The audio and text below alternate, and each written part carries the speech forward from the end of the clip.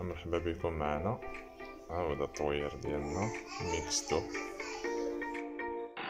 دابا كما تلاحظوا راح خرجناه من القفص ديالو. وطلقناه في غرفة تيكون النوافذ ديالها مغلقة في الأول. تيبقى تيطير وتيجي تيقرب من الشخص اللي لأنه مولف بأنني تنعطيه الأكل ديالو وتنقلو القفص ديالو. يعني تيطير يطير تيجي لعندي. دابا الغرض من هادشي كله أن الطير يولف بيا أكثر. يولف بأنه يكون مطلوق في الدار. والمرحلة اللي من بعد منها هو يبدأ تيغرد يعني ديما تنخرجوه من القفص تيبقى يولف بينا شوية عاوتاني تنردوه للقفص ديالو باش يبدأ تيغرد باش من بعد يمكن له يعرف بأنه بحال داخل القفص بحال خارج القفص يمكن له يبدأ تيغرد باش نوصلو للمرحلة التالية هو أنه يبدأ يغرد في اليد ديالنا ولا فوق الكتف ديالنا.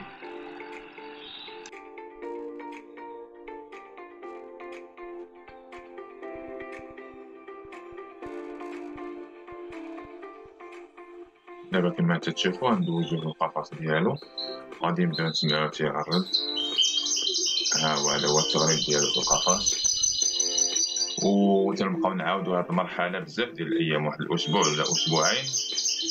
من بعد تنرجعو نطلقوه باش نشوفو واش غادي يبدا يولف بالبيت فين تنطلقوه واش غادي يبدا يغرد. وغادي نتابعو هاد المراحل مجموعين إن شاء الله. تابعوا معنا الفيديو الاخير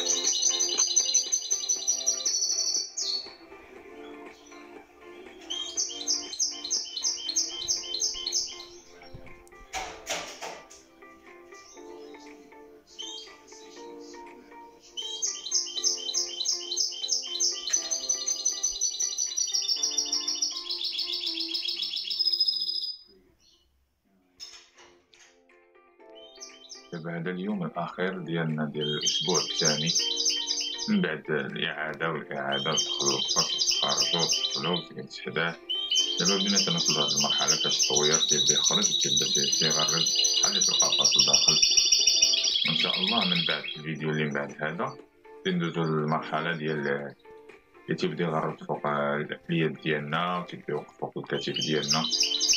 لانني مازال ما وصلتش لهاد المرحلة باش نصورها لكم. ولكن أنا تنوعدكم بان الفيديو الجاي إن شاء الله اللي غادي ننزلو غادي يكون في هذه المرحلة هذه ديال أن الطير تيولف بالمورفي ديالو تيبقى تيجي لعندك ويوقف عندك ونتمناو يوصل المرحله ديال التغريد في اليد ديالنا. نتمنى يكون عجبكم هذا الفيديو. وتابعتي وصل الآخر ديالو. واللي شاف هذا الفيديو يشترك في القناة ويفعل زر الجرس باش يوصلو كل جديد إن شاء الله. شكرا للمتابعة ديالكم إلى فيديو آخر. بحول الله.